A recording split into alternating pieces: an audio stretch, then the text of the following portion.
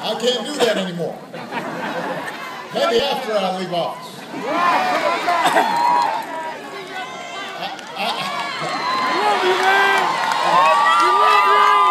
I think a friend of mine from here once put it pretty well.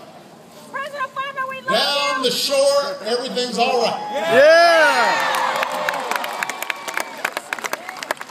He's the only guy a president still has to call the boss, other than the first lady.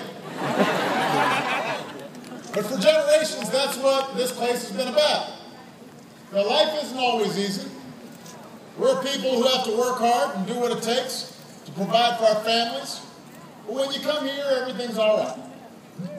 Whether you spend a lifetime here or a weekend or a summer, the shore holds a special place in your heart and it, a special place in America's mythology, America's memory.